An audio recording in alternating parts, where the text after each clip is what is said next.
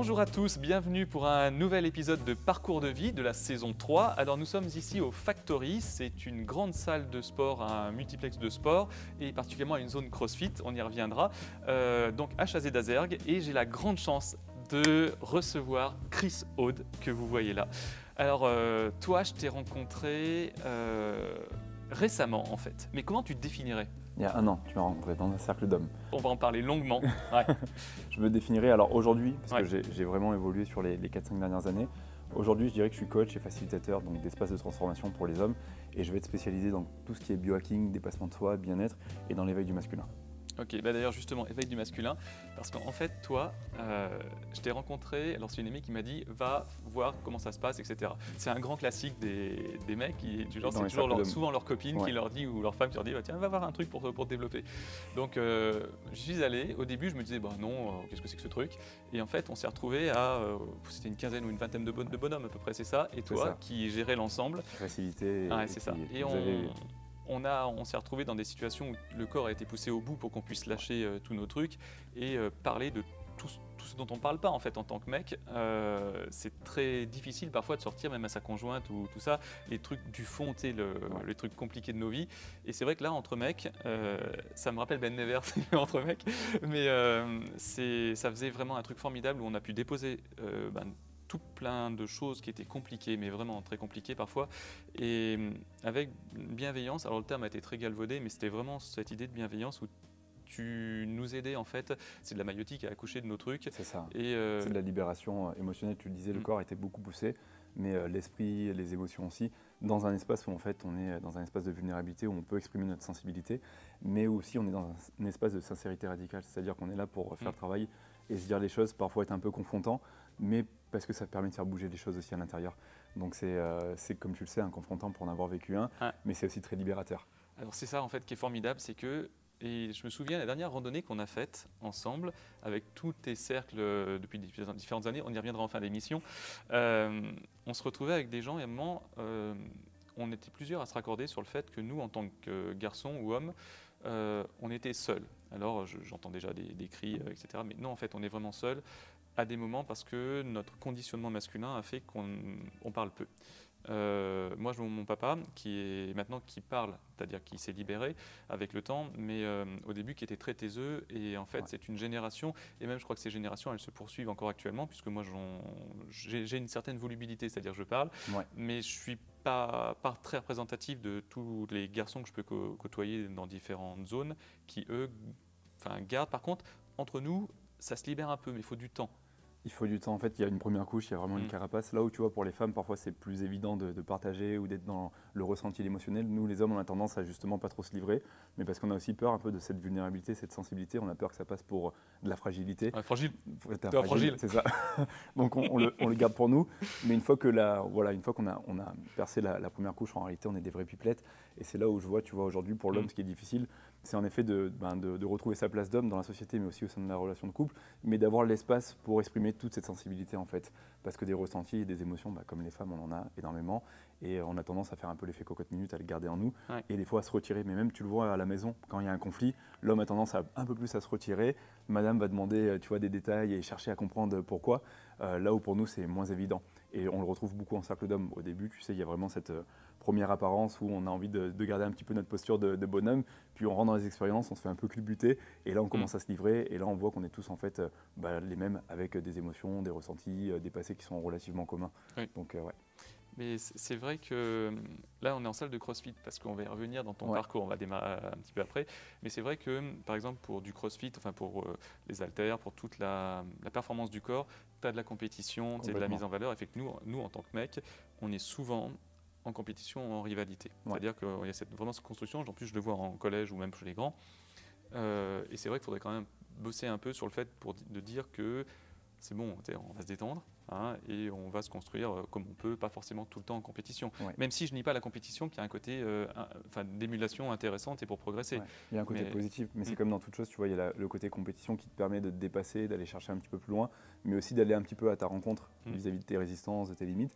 Et il y a le côté euh, ultra compétitif qu'on appelle un peu dans les cercles d'hommes l'excès de masculinité, où tu es dans cette énergie de domination, de j'ai envie d'écraser l'autre et j'ai envie de prendre ma place, et presque limite la crise d'ego c'est euh, moi le, plus fort tout ça, et on le retrouve parfois dans le sport, parce que le, sport est surtout axé performance, donc on va avoir tendance à se comparer à l'un à l'autre. Là où dans le cercle d'hommes, justement, on est dans un espace de fraternité, on est là pour tisser des liens les uns avec les autres, et pour supporter dans les épreuves qui viennent nous challenger en fait dans le cercle d'hommes. et ça change effectivement quand on se revoit après, que ce soit en tant qu'ouvrier ou même patron d'entreprise, euh, enfin, dire la, classification est cassée en fait, parce qu'on est passé par chez toi et que on a mis les trucs à plat, les trucs qu'on sort jamais, et que ça, a mis tout le monde d'accord. Hein voilà. Bah, une fois que tu as, trippé un peu dans la merde avec ton partenaire et que tu as vu qu'en fait vous étiez à même niveau, bah, ça remet tout le monde à même niveau par rapport au cercle. C'est pour ça que tu vois, on, appelle ça un cercle d'hommes, c'est que par rapport au cercle, en fait, on est tous à même niveau, on est tous autour. Et il n'y a personne qui a une position ascendante ou dominatrice par rapport aux autres. Et même si je suis actif ou passif, en fait, on est, on est tous à même niveau. Et c'est ça que j'aime dans le, cercle d'hommes. Ouais, tu as beaucoup de réflexions. alors, tu as une bienveillance et une gentillesse, mais c'est quand même fascinant. Non, mais ok, allez, tiens, vas-y. Euh, mais vraiment, et c'est ça aussi, c'est pour ça qu'on te suit en. Enfin, on te suit, je parle au nom effectivement de l'équipe en général, mais qu'on te suit effectivement dans ces, dans ces cheminements parce que euh, tu as suffisamment d'attention aux gens et de considération qui fait que nous, on peut aller plus loin, c'est-à-dire grandir d'une certaine manière. Mais parce que toi, avant, tu as bossé, etc. On va en parler. On va en parler d'ailleurs. Alors, hop là, on fait le flashback, c'est parti. Donc, euh, toi, euh, Chris, toi, tu n'étais pas du tout, parce que là, on est dans la zone du Beaujolais, etc., tu n'étais pas du tout originaire de là. Toi, tu nais dans un truc loin. Très loin. dans le 33, comme ton âge actuellement. Qui s'appelle euh, Bordeaux. Euh, et, je grandis surtout, on peut en parler, mais euh, à Nice, en fait, c'est là où je grandis, où je fais quasiment toute ma scolarité. Et de 8 à 20 ans, 8 même à 24 ans. Et je suis arrivé à Lyon il n'y a pas longtemps, en fait. Maintenant, ça fait 8 ans. Mais en fait, je quitte Nice pour rejoindre ma chérie pour arriver sur Lyon. Et donc c'est pour ça que je suis pas très originaire non plus de la région. et en plus après, je suis resté seulement deux ans à Lyon et je suis parti voyager, mais je pense qu'on va en parler aussi. Alors donc toi tu nais à Bordeaux, ton papa et ta maman. Ma mère est africaine, elle est de la Côte d'Ivoire et rejoint mon père euh, à Bordeaux. Et donc ils se marient à Bordeaux, puis un an plus tard, euh, ils font, euh, ils font un petit œuf. Et mon père est, bah, de Sarlat, donc pas très loin aussi, donc dans la mm. région, dans, dans, le 33. Ok, lui il est il n'est pas directeur financier Oui, c'est ça. Il est directeur financier. Donc, lui, il était dans l'automobile. Donc, il travaillait avec Renault, Peugeot, tout ça. Et ma mère est assistante dentaire. Ok, et tu bouges beaucoup en fait, de par le. Je bouge, tout le temps en réalité, euh, et même quand j'étais à Nice, en fait, j'ai énormément bougé parce que j'étais dans l'arrière-pays euh, niçois. Et en fait, si tu veux, mon père était souvent muté. Donc en gros, mm. euh, tous les deux, trois ans, il avait comme un nouveau contrat en fait. Et donc on suivait. Donc j'ai fait aussi un moment Perpignan, là où mon frère et ma sœur s'en est. on est monté vers le Chenet, donc pas très loin de la région parisienne. Mm. on a fait plusieurs fois Nice, on a fait un petit peu des allers-retours avec, avec Paris, tu vois. Et donc en fait, je le suivais par rapport à son, à son boulot, quoi.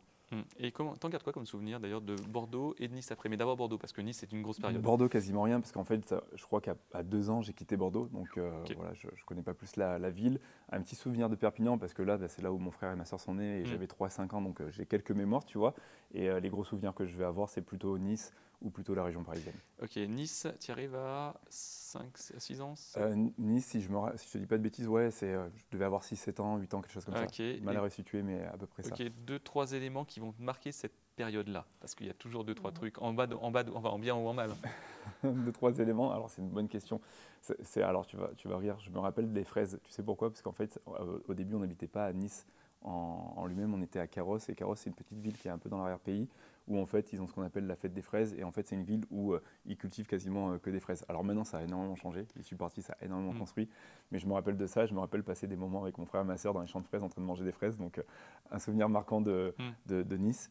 Et bah, j'en ai pas tant en fait que ça. Je suis en train de réfléchir, mais j'ai pas tant de. Ouais, ça a été mes débuts surtout à l'école en fait. Donc mes premiers souvenirs en tant que petit garçon euh, qui quitte un petit peu la maison, euh, qui était aussi beaucoup accroché à maman. Mais je pense qu'on peut-être on en parlera parce que j'étais beaucoup dans l'idéalisation de, maman et des fois dans le manque de figure paternelle. Donc difficulté à partir à l'école et, et, à me retrouver avec les camarades. Et si quand même un souvenir marquant. premier moment aussi où j'ai vécu un petit peu les moments de racisme, je, dirais aussi à ah, l'école, où mm. tu vois, on, on, peut en parler, mais c'est là où euh, j'ai senti bah, parfois une rivalité ou une incompréhension où je ne me sentais pas reconnu forcément. Et c'est là où j'ai commencé tu vois, à me chercher aussi ma petite place de bonhomme, mais aussi à rentrer en conflit avec euh, d'autres mecs parce que je sentais que c'était pas juste en fait. Donc mm. là, tu vois, c'est un souvenir moins plaisant, mais, ouais, mais important pour la construction pour Moi. Et euh, comment ça se passe ta scolarité, Rapidos? Ça se passe très bien. Au début, je suis un vrai cancre. Ma mère me met deux, trois baffes en me disant c'est pas possible, ton père est directeur financier, donc attention, t'as intérêt de, faire de même. Et là, je deviens brillant. Donc brillant à avoir 15-16 au mm. collège, puis à continuer au lycée, puis même à finir mon master avec 16 de, moyenne. Donc, Alors, ton master, tu l'as fait où? Je l'ai fait à Nice aussi, c'était au lycée Bossit, donc c'était un master de, comptabilité et de gestion. Euh, c'est là où je me suis, on va dire, lancé, donc orienté vers la compta et la gestion, et on peut le dire, on en a parlé tout à l'heure, c'était un choix, on va dire, de, de raison. Je ne dis pas choix de cœur parce qu'en fait, bah, mon père était directeur financier. Ma, le déterminisme, tu sais. Voilà, j'avais une marine qui était expert comptable et j'avais euh, une mère qui était africaine et euh, qui voulait la sécurité à tout mm. prix pour euh, son fils. Et elle me disait, bah, tu vois, ton papa, il a toujours dû déboucher, mm. peu importe ce qu'il fait, ça paye très bien aussi, on a une bonne situation. Donc, va dans la bah, comptabilité. ok, toi tu dis ok. Moi j'ai fait ok maman. Donc tu termines ton master, tu dois avoir 23, un truc comme ça. C'est ça, j'ai 23 ans à ce moment-là, 22-23 ans. Et là, alors le problème c'est que maintenant tout s'imbrique de partout et qu'il va falloir essayer de faire une trame commune avec tout plein de trucs de partout. Euh, donc toi, euh, tu rencontres Chloé. Ouais. 22. Alors, comment ça se passe? Parce 24 ans, alors, 23, pour ceux qui ne connaissent pas, euh, Chloé, donc Chloé Bloom, et sa compagne, et euh, donc qui était une, alors je ne vais pas employer de mauvais termes, mais une influenceuse déjà ou une Instagrammeuse déjà à l'époque sur du domaine du fitness, il me semble. Alors même avant ça, elle, était en fait, si tu veux, elle était euh, responsable commerciale dans, dans, des laboratoires, mm. des laboratoires de la nature, c'est une marque dans le bio, à la fois un petit peu dans l'alimentaire et le cosmétique. Et moi, j'étais dans l'expertise comptable à KPMG, donc à Lyon, et en fait, je suis monté à Lyon pour euh, rejoindre Chloé, donc ça a été un choix d'amour cette fois-ci. Et, et, si tu veux, donc Chloé au début faisait quelque chose de complètement différent, elle n'était mm. pas dans l'influence, dans le, le fitness. Et euh, donc on s'est rencontrés vraiment en fait sur Instagram, c'est ça qui est assez marrant. Et on s'est rencontrés parce qu'on faisait tous les deux du fitness. Donc c'est moi qui l'ai approché au début, euh, mais je l'ai approché en mode, tu sais, le comptable, bien droit. Euh, oh, il est sympa ton profil, j'aime bien ce que tu fais, tu as une bonne énergie. pas du tout la drague, tu vois, du tout. Et au début, elle s'est dit, mais ce mec, il est trop gentil, je sais pas si ça va le faire. Mais bon, elle m'a, j'avais des belles photos de, de mon six-pack, de mes abdos légendaires. Donc elle s'est dit sur le on moment. Va on, va, on, va, on va lui donner sa chance, tu vois. Et au début, on a une relation à distance. Puis au bout de six mois, je, elle m'a mis un petit ultimatum en me disant, c'est bien la distance, mais il faudrait venir à Lyon, tu vois elle avait pas envie de descendre à Nice, donc j'ai dit bon, allez, je vais faire le, cavalier blanc, je vais monter à mm. Lyon, et c'est comme ça qu'on s'est installé ensemble. Ok, très bien. Et donc ces abdos, euh, tout ça là, parce que là, là j'ai quand même mis deux trois trucs en décor, au passage quand même, histoire de dire que ouais, et puis en plus ça se voit en régie, mais il y a toute la grande salle là-bas derrière, et euh, toi, tu viens au, fitness. Comment? Parce que tu as aussi cette carrière de, enfin, de coach aussi. Euh, ouais, c'est ça. Et du coach d'entrepreneur, enfin, tu as plein de casquettes euh, qui vont se dérouler. Alors, le fitness, tu vois, c'est intéressant. C'est une histoire d'amour. J'ai commencé euh, à la maison quand je regardais mes BD Dragon Ball Z, tout ah. simplement. J'ai commencé très tôt, mais vraiment à 15 ans. Donc, ça fait 18, 19 bah, ans quasiment que j'en fais. Et en fait, c'est ma mère qui, au début, m'a inscrit en salle quand j'ai été majeur à Nice et j'ai commencé en fait à me passionner. Mais en même temps, il faut le dire, j'avais un complexe où je me sentais, tu sais, j'étais un petit peu ce mec, euh, un peu grande taille, mais assez mec, qui avait du mal mm. à, prendre la masse musculaire. Puis je souffrais un petit peu aussi, ben, au collège, surtout au collège, de ces problèmes un peu de racisme. Donc j'avais envie de prendre ma place, tu vois, mm. de mec. Et je me suis dit, bon, ben, la musculation, c'est idéal pour se construire une, tu vois, une, belle armure. Et j'ai commencé donc à être fan de la musculation, à en mm. faire énormément, à être geek, jusqu'au point où je, je, suis allé en fait dans des compétitions, où j'ai fait des compétitions de fitness. Et euh, ma première compétition, c'était le Grand Prix de, de Nice, où j'avais terminé deuxième sur 18. J'étais super heureux. Et donc là, je me suis passionné du fitness, mais je me suis aussi passionné de, du crossfit parce qu'en fait, j'aimais aussi beaucoup la performance et le côté athlétique, tu vois. Et il y a un moment où, avec le fitness, je me suis senti un petit peu limité. Est-ce que tu peux me faire la différence entre fitness et crossfit? Parce que là, pour l'instant, on est dans la bulle. Mais ouais, dans la bulle. Alors, le fitness, tu vois, ça va être toute la pratique que tu peux avoir en salle, hmm. qui peut être la pratique tant cardiovasculaire, le fait de, pousser des poids, euh, le fait, par exemple, de, faire des hits. Donc, les hits, c'est ce qu'on appelle des entraînements euh, fractionnés qui peuvent être faits au poids du corps, ce genre de choses.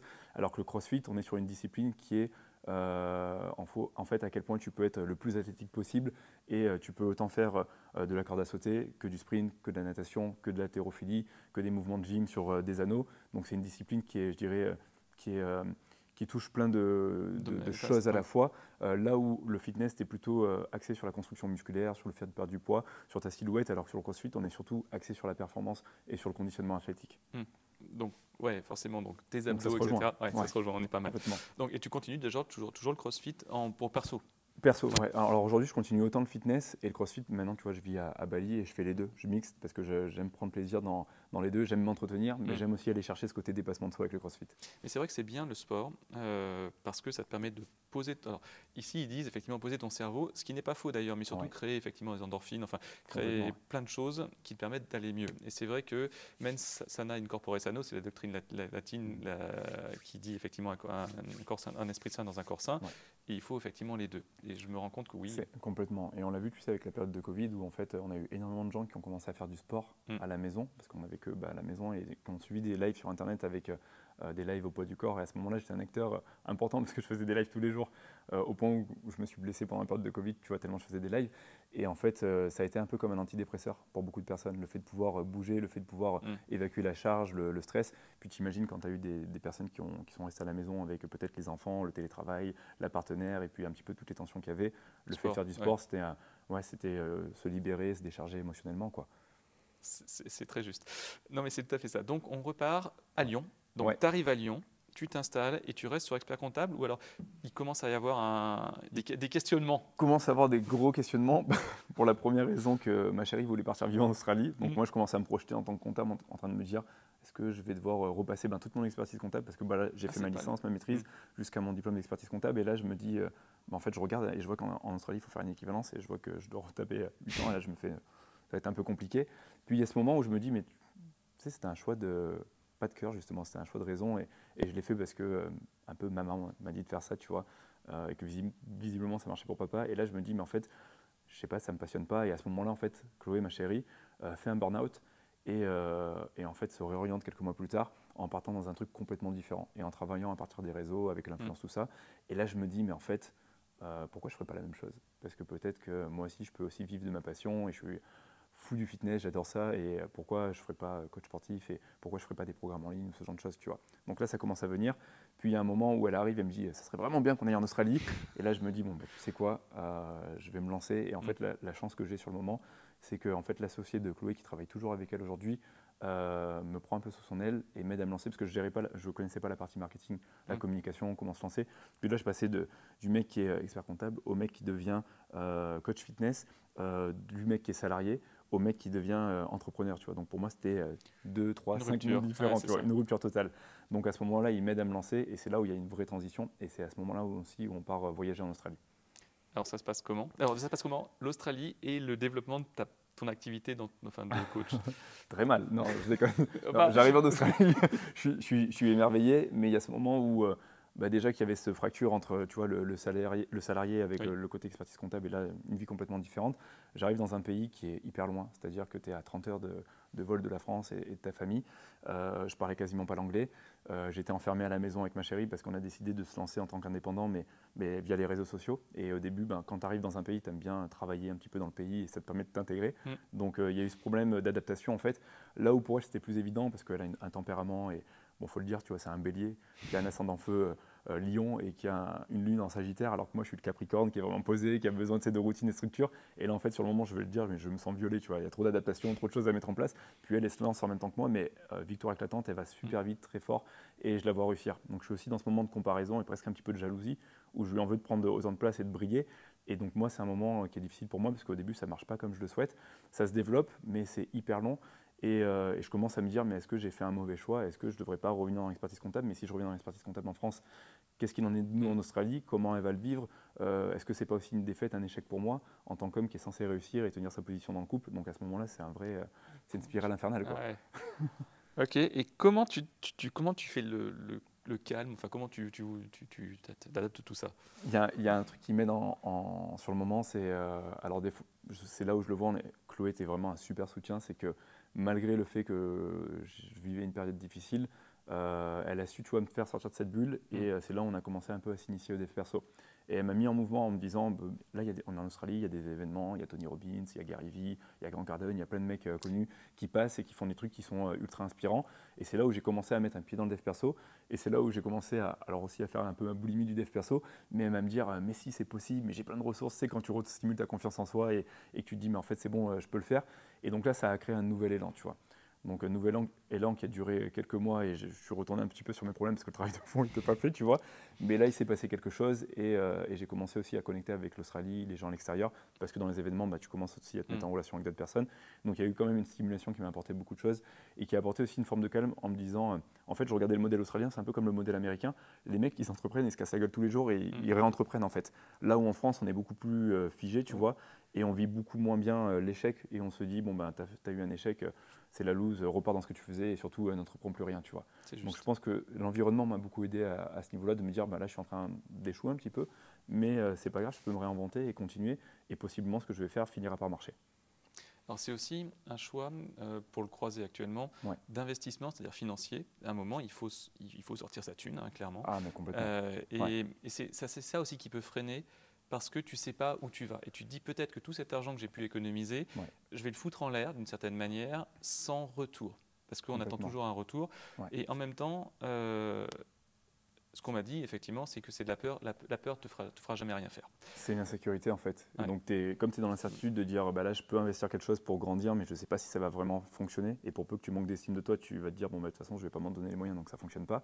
Tu n'investis pas. Et c'est là où, pour beaucoup d'entrepreneurs au début, on a tendance à être un, bon artisan, un bon pompier qui, fait, qui éteint tous les feux, en fait, son business, mm. mais qui fait euh, le marketing, la communication, euh, qui est sur son cœur de métier, qui fait les mails et qui fait tellement de choses en même temps qu'il bah, y a un moment où tu exploses et tu finis par te dépassionner. Donc c'est en effet comment je peux investir dans moi intelligemment mais mm. rapidement, soit en déléguant certaines choses que j'aime pas faire et qui vont, ou avec des personnes qui sont brillantes, qui vont m'aider à grandir, soit en moi en prenant peut-être un coaching ou un accompagnement qui va me permettre de grandir. Et, moi, j'ai mis trois ans avant de le faire. Et eh ben c'est ça. En fait, je pense qu'il faut pas hésiter, vraiment. Ouais.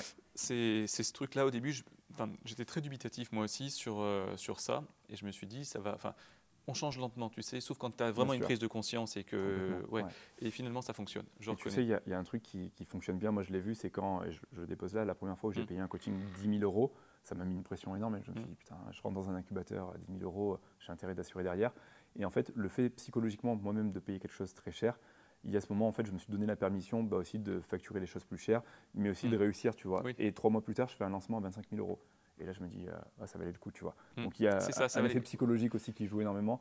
Et en même euh, temps, et si, si, on se plante, et ben, et ben, c'est la vie, c'est pas grave, on rebondira. Complètement, ouais. Je veux dire, Mais ça, tu vois, c'est un euh, mindset, un état d'esprit qu'on ne cultive pas trop en France, où euh, tu as souvent les, projections de ton entourage. Moi, tu vois, au début, quand je me suis réorienté, j'ai mis un an avant de le dire à ma mère. Hum, que je, quittais, tu, vois, je quitte l'expertise comptable pour me lancer coach fitness en Australie. Tu imagines le truc où ta mère est en mode sécurité et puis limite être informé pour être un, bon expert comptable, tu vois. Et, moment, j'ai mis un an, là où pour mon père, il s'en foutait un peu plus, mm. donc euh, ça a été plus à l'aise. Mais parce que tu as, tout, as les peurs en fait, de l'environnement et tu as les projections de la famille qui fait qu'on te projette souvent le fait de bah, l'entrepreneuriat, c'est casse-gueule, tu vas pas réussir. Il y a une entreprise sur deux qui, au bout d'un an, euh, coule. Donc, euh, tu es dans un environnement où en fait, on te stimule pas en fait, et on te fait pas croire en tes rêves. Donc, ça vient comme un frein entre toi et tes rêves, justement. Contrairement aux États-Unis où effectivement c'est vraiment quelque chose qui intégrait euh, ce truc-là, ah avec leurs défauts aussi. Hein, avec leurs défauts, les inconvénients, complètement. Mais c'est vrai qu'il y a cette, créativité, cette volonté de créer en fait, toujours, toujours, toujours. C'est vrai. Là où là-bas ils vont pas hésiter à surendetter, mm. mais ça va entraîner oui, mais choses. Oui, mais en plus c'est ta note effectivement qui fait plus. Euh, toi donc tu Australie un an. Un an, ouais. Je bouge énormément. Ok. Ensuite. Alors sur mon périple en Australie, il y a un moment où je visite Bali. Et je visite Bali, donc l'Indonésie, euh, juste pendant un mois. Et au début, euh, je vais le dire, horrible. J'arrive, on a quatre, voire six valises euh, ensemble parce qu'on était nomades, tu vois, et c'était un petit peu notre maison. Et tu passes de Sydney, qui est la grande ville, hyper structurée, bien mm. organisée, où tu arrives vraiment dans la jungle, quoi, dans la, jungle la plus totale, même s'il y a des endroits assez touristiques, assez adaptés à Bali. Mais en plus, sur un mois, on fait toutes les petites villes de Bali, donc on n'arrête pas de bouger. Et là, autant dire, l'adaptation, moi, ça vient encore me chercher et j'ai l'impression que c'est pas fait pour moi. Et en même temps, prise de conscience sur euh, le voyage, sur plein de choses, sur aussi ma relation de couple, parce qu'à ce moment-là, ben, il y a aussi beaucoup de, tensions. Et, euh, et, par contre, première quand même connexion avec Bali, il faut le dire, quelques mois plus tard, on va venir se réinstaller à Bali pour se faire une deuxième expérience. Et c'est là où ça va être une porte un peu plus approfondie vers le dev perso, mais aussi vers la spiritualité, les activités holistiques. Et c'est là où, de coach, on va dire plus fitness, euh, donc euh, juste au niveau de l'apparence, mm. je vais devenir plus coach holistique et je vais m'intéresser au bain glacé, à la respiration, à la méditation, à plein d'autres activités et je vais ouvrir mon éventail. Et entre-temps, je ne sais pas si c'est entre-temps ou parallèlement, ou euh, tu fais du coach d'entrepreneur aussi à un moment? Un peu plus tard. un peu plus tard, ok, donc on va y venir après. On va y venir. Donc, donc tu vois Bali, ok, ça, ça t'attend, et après?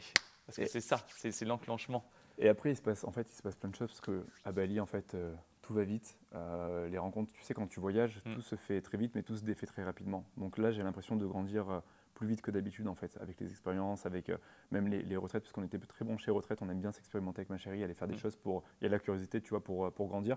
Puis je pense que l'Australie, tu vois, m'avait donné cet élan de se dire, euh, sors de la maison, là, va Ok. faire des choses pour, Mm. bah, pour te nourrir, en fait. Et donc là, à ce moment, à Bali, c'est là où j'ai mon shift, où je deviens coach holistique, mais c'est là aussi où je vais devenir coach business, donc pour aider les entrepreneurs qui sont dans le bien-être à se lancer et à générer justement leur premier millier d'euros.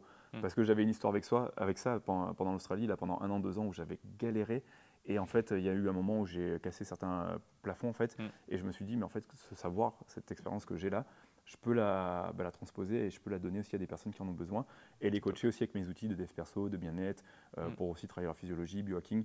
Pour, euh, alors biohacking, c'est un terme un peu barbare, mais biohacking, c'est toutes c'est les pratiques qui permettent de, on va dire, hacker sa physiologie, sa concentration, sa productivité, pour être en meilleure énergie dans ce que tu fais, dans tes relations, dans tes projets, mais aussi dans ton business. Mm. Et donc c'est là où tu vois, c'est intéressant, où je commence à tout imbriquer.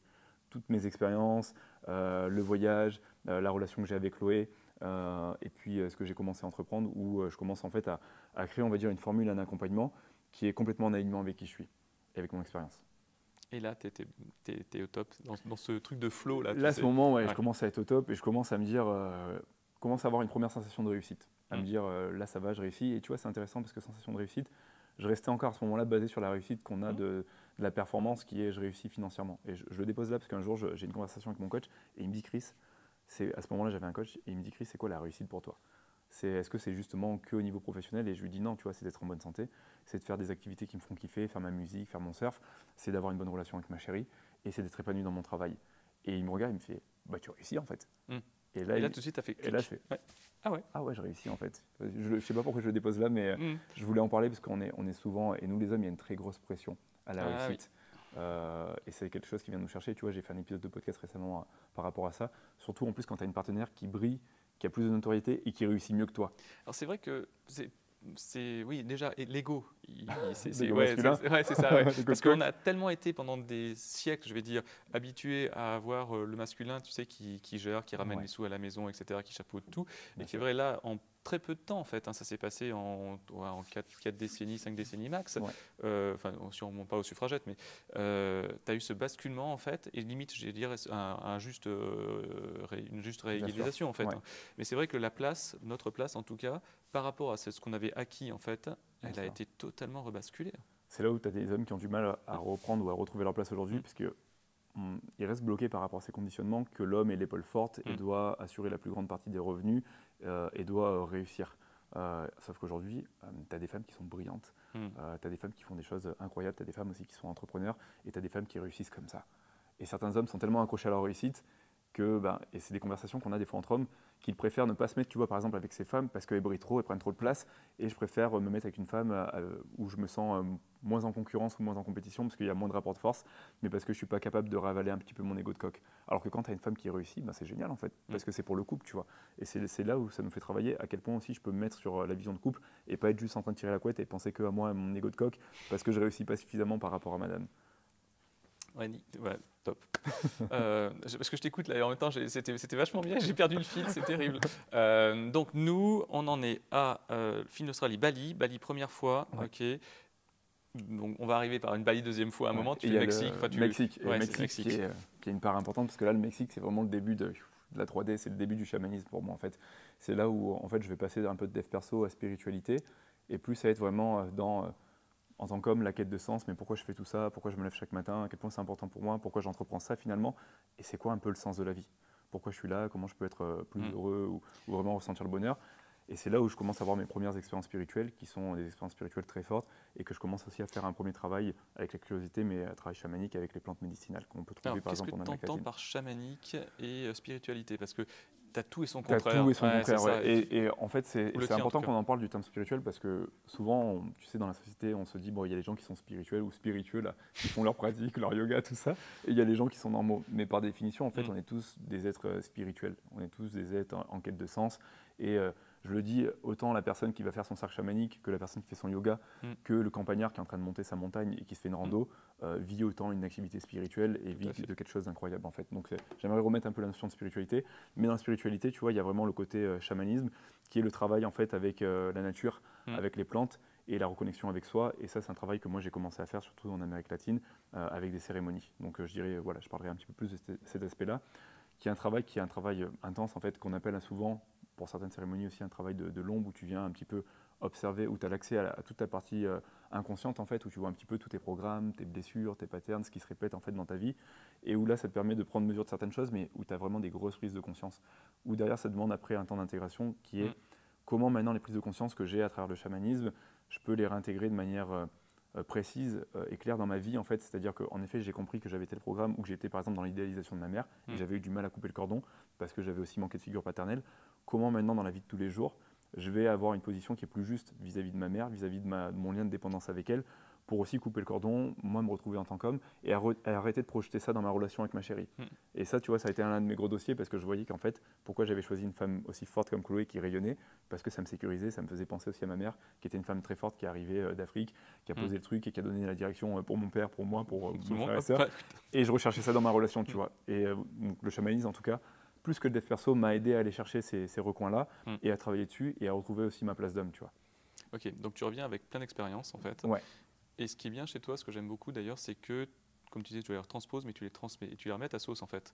C'est-à-dire qu'il faut que ce soit accessible aux autres. Parce que comme c'était quelque chose de très particulier, ouais, il faut ouvrir. Bah ouais, et puis en plus, si tu arrives en France aujourd'hui et que tu en parles et tu dis, bon voilà, moi j'ai fait du chamanisme, j'ai vécu telle ou mm. telle chose, et je vous invite à le faire, les gens ils vont dire, oula, de quoi tu parles, qu'est-ce que tu fais là? Attends, t'es chelou, toi, t'es perché. Donc moi, tu vois, dans, et je pense dans ma qualité, c'était de le vulgariser et de le rendre accessible euh, au début via des cercles d'hommes, tu vois. Sans forcément rentrer non plus euh, dans du chamanisme, mais plus, et on va arriver sur la partie de cercle d'homme, mais plus en fait, euh, tu vois, il y a ce moment où il y a 3-4 ans euh, qui passent et en fait, je m'expérimente, mm. j'apprends beaucoup par l'entrepreneuriat, par le voyage, et il y a ce moment où j'ai un constat et je me dis, c'est génial ce que je fais pour moi, c'est génial ce que je vis avec ma chérie, mm. mais je me sens seul. Tu te rappelles, on parlait de l'isolement, oui, l'homme au début. Je me sens seul.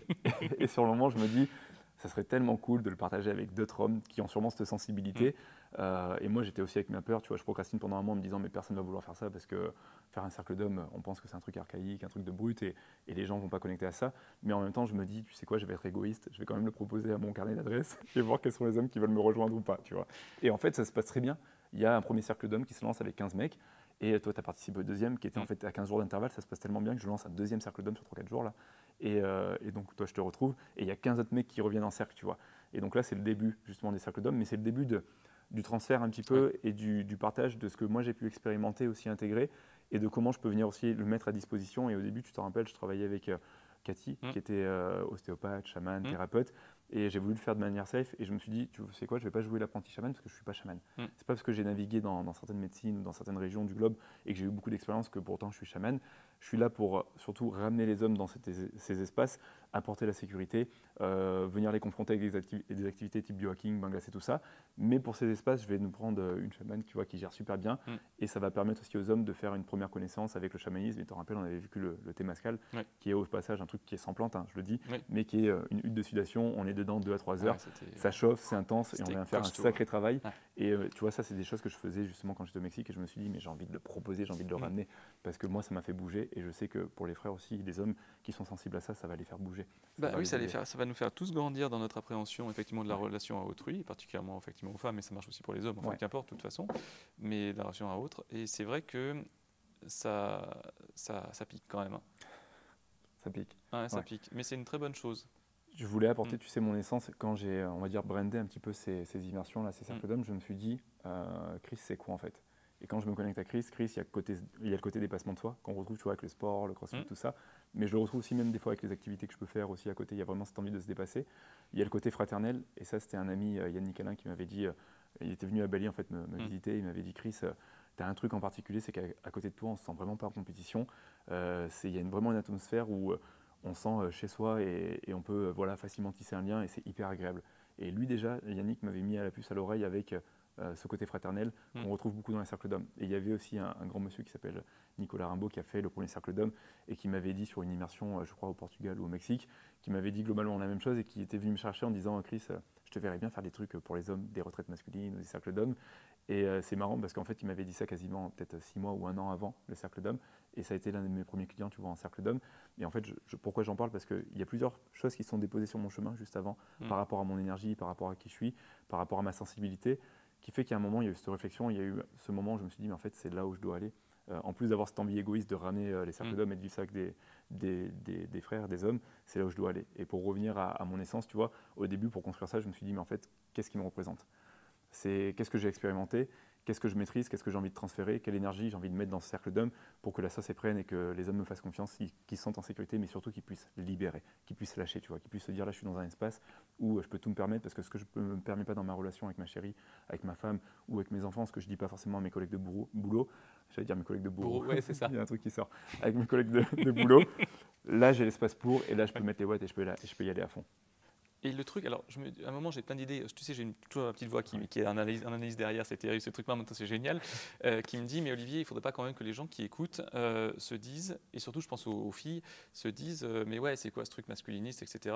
Et, en fait, Christ propose un truc hyper séparé, tu sais, entre filles et garçons. En fait, non, pas du tout. Je pense que ce que tu fais, c'est nous donner la parole entre nous pour que après on puisse aller dans le monde, alors vous retrouvez, c'est un sens large, hein, mais vous retrouvez en ayant grandi et surtout en essayant d'évoluer. Ce qui est difficile quand on a effectivement ce dont on parlait, cette base. Mais déjà, quand on, a, quand, on va chez toi, euh, on a déjà fait une partie du chemin. Ça veut dire qu'on a déjà décidé de enfin, bouger le cul parce que soit on a effectivement, on est en burn-out, on est en questionnement où ça va pas, on se pose des questions, on cherche, du genre je suis ça, je suis ça, etc. Ou alors, effectivement, on, est on a été envoyé je me souviens, alors euh, peut-être avoir vu une ou deux personnes un peu réticentes, dubitatives en fait, qui, parce qu'ils avaient été envoyés, mais l'expérience immersive et surtout le fait de voir les autres parler, en fait, ça forcément ça fait du miroir. À un moment, c'est pas possible. On a, on a, on a ces failles qui sont, enfin, on a des failles communes, on va dire, et hop, ça s'immisce. Et euh, à un moment, t'en sors changé. Et surtout, t'en sors changé pour aller euh, évoluer euh, ailleurs. Alors, si ça pète le couple, ça pète le couple. Hein, à un moment, il faut pas être non plus. Bien sûr. Alors, tu vois, on en parle dans les cercles d'hommes. On dit mm. jamais prendre de décision radicale ah à la sortie. On dit tu attends 15 jours pour l'intégration, tu fais des choses qui te dans la matière, et tu attends encore 15 jours supplémentaires, 30 jours avant de prendre une décision, que ce soit euh, au niveau de ton couple, au mm. niveau de ton business. Parce que le but, c'est pas justement de, venir fragiliser quelque chose, c'est de prendre, en fait, d'intégrer ce qui a été euh, déposé pendant le cercle d'hommes, les prises de conscience, et voir comment, bah, justement, au contraire, je peux réaméliorer cette relation si c'est quelque chose qui est, mm. qui est voilà, qui est réaméliorable, et, mm. qui est réaméliorable et qui a toujours de l'amour, tu vois. Euh, et pour le business, avant de prendre une décision radicale, c'est voilà, est-ce que j'ai pris le temps de, peser le, pour et le contre, comme si tu faisais une, une balance des avantages et des inconvénients. Donc c'est là où moi, dans le cercle d'hommes, et je le mets vraiment en avant, on vient chercher cette posture mature, masculine, de personnes qui se responsabilisent, qui s'engagent euh, et qui prennent des, décisions en âme et conscience et qui ouais, pas n'importe quoi. C'est se responsabiliser. on le voit encore aujourd'hui, c'est tellement difficile pour certains d'entre nous. Euh, alors, bah, sur le chemin, hein, pareil, hein, je veux dire, certains d'entre nous, mais c'est pareil, je suis dedans. Hein. Euh, non, mais c'est vrai. et le truc qui est bien aussi, c'est que tu fais des podcasts et tu les fais bien d'ailleurs, avec une super voix de genre bonjour, bonjour. nickel. Non mais tu fais, tu fais des super podcasts pour, euh, qui sont très intelligents en fait parce que tu bosses beaucoup. C'est-à-dire que tu, tu, lis beaucoup, tu te renseignes beaucoup, tu échanges beaucoup et euh, tu nous fais une synthèse de tout ça. Euh, pour nous expliquer, en fait, grosso modo, les archétypes de, des êtres humains. Alors, on ne rentre pas tous dans des cases, clairement, je suis d'accord, mais parfois, il y a des grandes tendances, on va dire. Euh, je pense à l'énéagramme que vous connaissez peut-être, sur les, ou l'human design, en fait, qui euh, explique nos fonctionnements. toi, tu t'es axé sur le principe de, de pourquoi on est aujourd'hui, cet homme qu'on est, par rapport à l'homme enfant, enfin à nos, à nos enfances. Ouais, complètement. Ouais, c'est ça. Et c'est un, Ouais, c'est un truc que tu as expliqué de manière enfin, très intéressante. Pouvoir écouter ces podcasts, tu apprends toujours plein de trucs, c'est génial.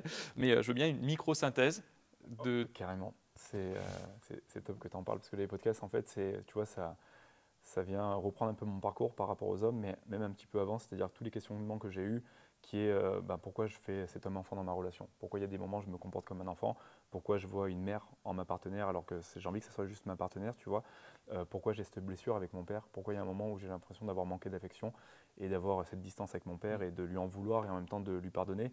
Donc il y a tout, tu vois, ces blessures, ces insécurités d'homme, euh, mais aussi mais comment je prends ma place dans mon couple, dans la société, qui font qu'en fait, plus le cumul avec les cercles d'hommes, où je vais aussi tirer de l'expérience et je vois mm. aussi la parole des, hommes, qui fait qu'en fait, il y a un moment où j'ai une base euh, où je peux porter ma voix. Et maintenant que j'ai fait ce travail aussi de, prendre ma place et que je me sens plus en confiance et que je me dis, bah, je peux aussi parler de choses qui sont importantes pour les hommes et qui sont pour les hommes qui sont sensibles avec ça, bah, je suis là aussi pour relayer justement tu vois, cette information, pour parler de mon expérience, pour inspirer d'autres hommes et pour leur dire aussi bah, vous n'êtes pas seul en fait.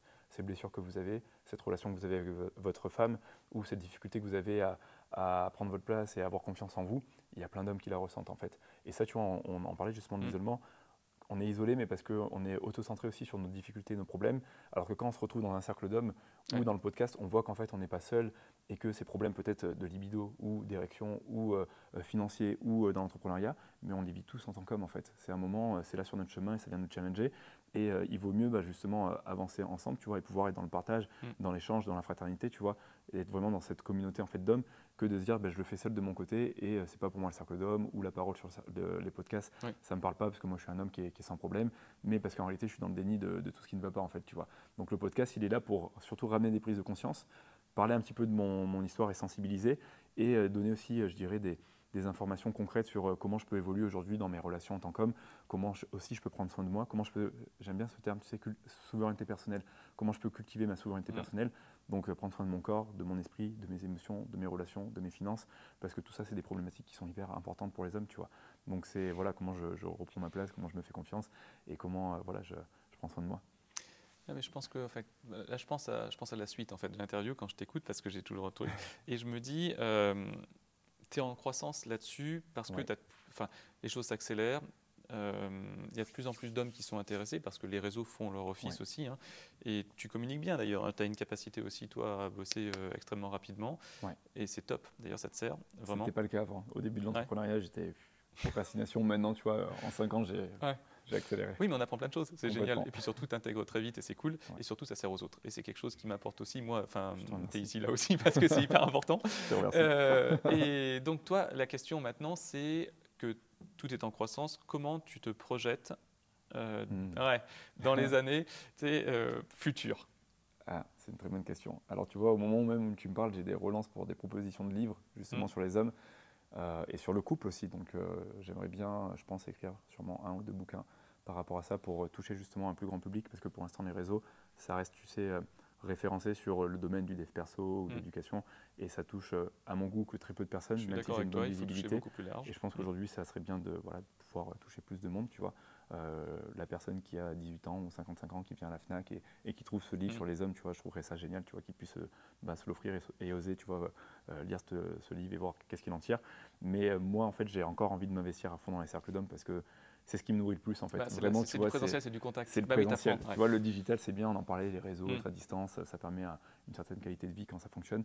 Mais le présentiel, c'est là où, comme je le dis à chaque fois, tu peux toucher ton client, tu peux vivre des temps forts avec lui et il se passe un lien qui ne se passe pas ouais, quand tu la petite euh, chimie du corps là, qui, ouais, avec nos harmonisations et compagnie. Puis euh, je vous amène dans des endroits où, euh, c'est ce que je dis, des fois on tisse plus de liens en deux jours entre nous qu'on peut tisser des liens avec des amis qu'on connaît depuis 15 ou 20 ans, tu vois.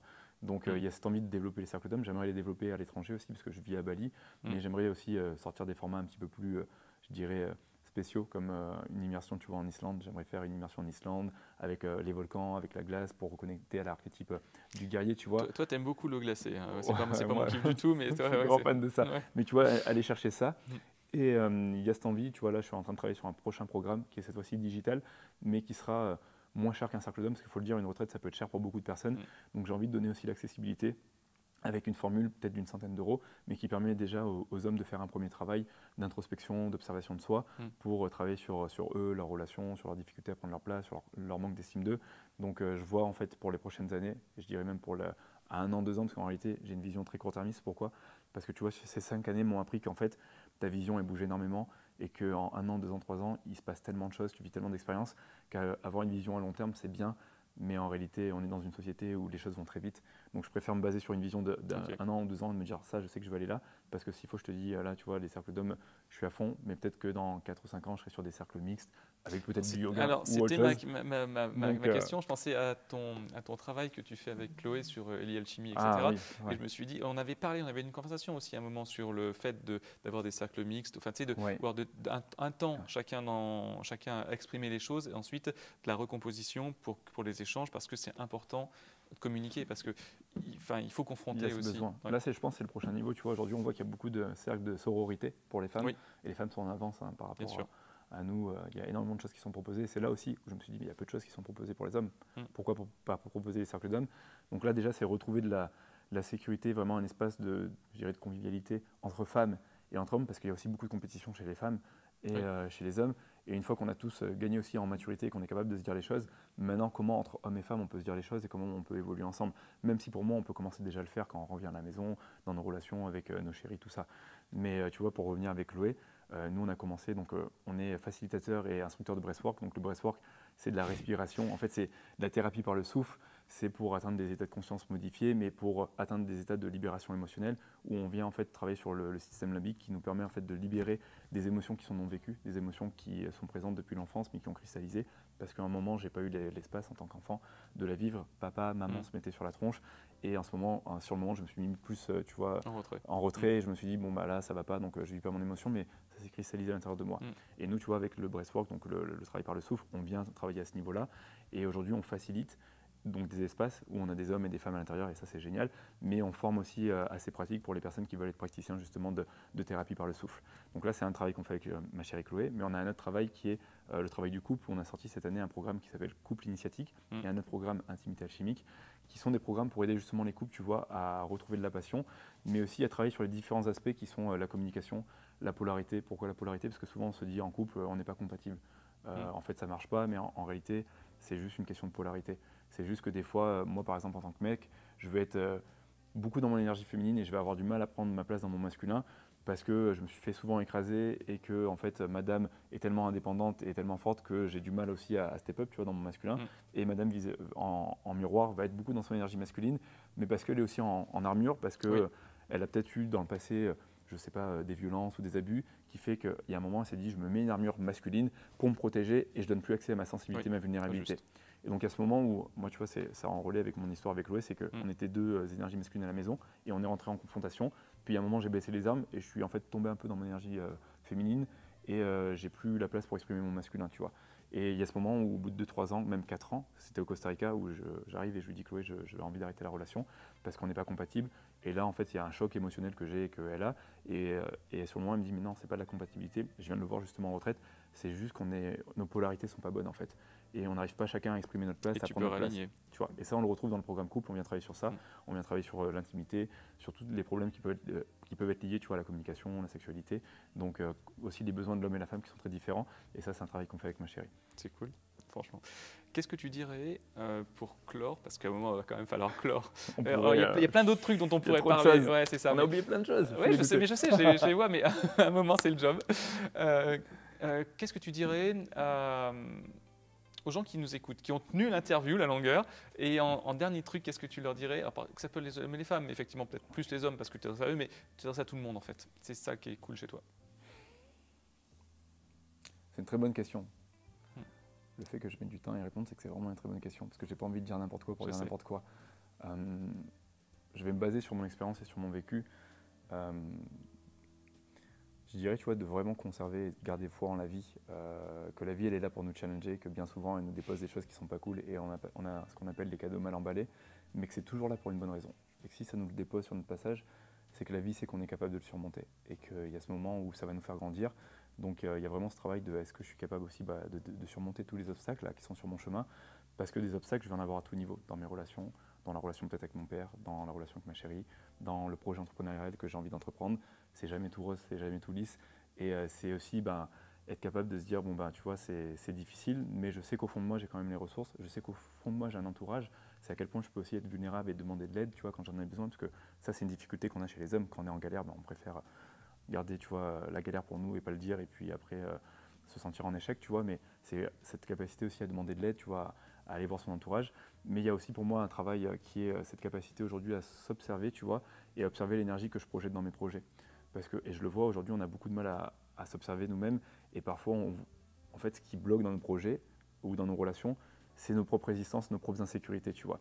Et il y a ce moment où, et c'est pour ça que j'ai lancé aussi les cercles d'hommes, c'est à quel point je suis capable de voir si ma posture, ma position, elle est juste, si elle est mature, si je suis dans une bonne énergie, pour aller provoquer euh, ce que je recherche justement dans ce projet ou dans cette relation Ou est-ce que je suis en train de projeter juste mes insécurités, mes peurs et en fait je ne fais pas forcément le travail, ce travail un petit peu de développement euh, de soi, tu vois, mais qui peut être fait euh, via une randonnée ou un livre mm. ou, un, cercle d'hommes ou un podcast, tu vois. Donc à quel point je suis capable de m'observer pour me permettre ben, en fait, de donner le meilleur de moi Et euh, aussi avoir cette capacité à me dire qu'une fois de plus, la vie, ben, parfois, c'est aussi des émotions désagréables, c'est de la frustration et de la colère. Et un problème qu'on a aujourd'hui et beaucoup avec le dev perso, c'est qu'on a tout de suite envie d'avoir la pilule magique qui nous fait euh, toujours sentir du bonheur, de la joie, tout ça. Et on veut s'anesthésier des émotions qui sont désagréables. Sauf que cette frustration, cette colère, cette tristesse, elle est là pour me dire quelque chose sur moi. Faut- Sûrement sur un niveau d'alignement, sur une décision qui est, qui est pas bonne pour moi, sur des limites qui sont pas posées. Donc c'est comment je suis aussi des fois capable de me poser avec, euh, excusez-moi du terme un peu ma merde, avec ma frustration, avec ma colère, la laisser un petit peu fermenter, mais me dire en fait c'est une source d'information qui va me permettre derrière de prendre des meilleures décisions et d'aller de l'avant. Donc, euh, donc voilà ce que j'ai envie de, de déposer. C'est peut-être pas forcément la, très la plus belle fin, Non, non, mais ça me très, semble très être juste, Mm. tu vois. Et, euh, et donc voilà. Je te remercie. C'était cool. Merci mon Olivier. Merci pour ce moment d'échange et de partage. Merci à vous tous. C'était trop court. hein. Ah, ah, bah c'était c'était déjà. Ouais, je, je reconnais. Merci à vous tous et on va vous dire à bientôt pour euh, plein d'émissions avec plein de gens différents. Vous allez adorer.